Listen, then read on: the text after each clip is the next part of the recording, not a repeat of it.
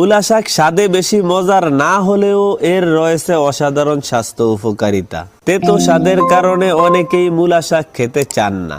আপনি হয়তো বা কখনো চিন্তাও করেননি তিক্ত স্বাদের এই শাকের রয়েছে এত গুণাবলী। চলুন তবে জেনে নেওয়া যাক মূলা শাকের উপকারিতা সম্পর্কে। মূলা শাকের উপকারিতা। এক কোষ্ঠকাঠিন্য দূর করে। মূলা শাকে প্রচুর পরিমাণে ফাইবার থাকে যা কোষ্ঠকাঠিন্য দূর করতে সাহায্য করে। দুই, পাকস্থলী ভালো রাখে। মূলা শাক আমাদের পাকস্থলী ভালো রাখে। তিন রক্ত শূন্যতা দূর করে। মূলা শাকে যথেষ্ট পরিমাণে আয়রন রয়েছে। এটি আমাদের রক্ত শূন্যতা দূর করতে সাহায্য করে। চার, রোগ প্রতিরোধ ক্ষমতা বৃদ্ধি করে। মূলা শাকে প্রচুর পরিমাণে ভিটামিন সি পাওয়া যায়, যা অ্যান্টিঅক্সিডেন্ট হিসেবে কাজ করে দেহের রোগ প্রতিরোধ করে। পাঁচ, চর্মরোগ সারাতে। মূলা শাক এসকারবি নামক চর্মরোগ সারাতে কাজ করে। মূলা শাকে মূলার চেয়ে বেশি অ্যান্টি সারবেটিক বৈশিষ্ট্য আছে। ছয়, ফাইলসের ব্যথা সারাতে। গবেষণায় দেখা গেছে মূলা শাক ফাইলসের ব্যথা সারাতে বেশ কার্যকরী ভূমিকা রাখে। তাছাড়া ফাইলসের ফোদাও সারাতেও এই শাক যথেষ্ট ভূমিকা রাখে। সাত, জন্ডিসের চিকিৎসাতে।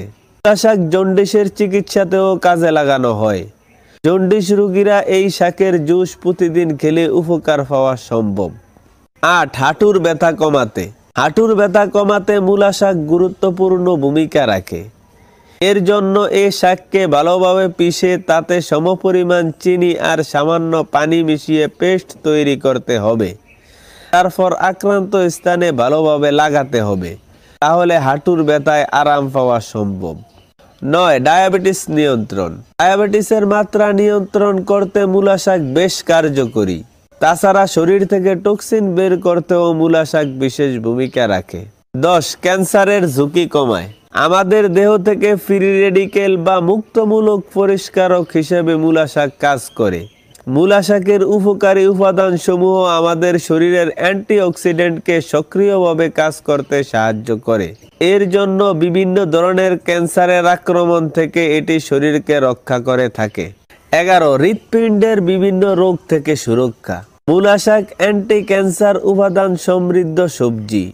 মূলা শাক গ্রহণ করলে হৃৎপিণ্ডের বিভিন্ন রোগ থেকে সুরক্ষা পাওয়া সম্ভব। সতর্কতা।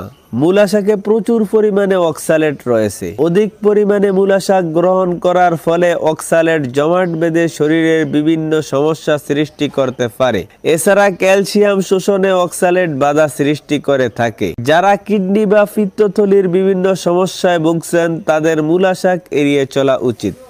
দর্শক, আজকের ভিডিওটি আপনাদের কাছে কেমন লেগেছে সেটি জানিয়ে কমেন্ট করবেন। যদি ভিডিওটি ভালো লেগে থাকে, তাহলে একটা লাইক দিবেন। আর নিয়মিত স্বাস্থ্য টিপস পেতে আমাদের চ্যানেলটি সাবস্ক্রাইব করে পাশে থাকা বেল আইকনটি ক্লিক করে রাখুন।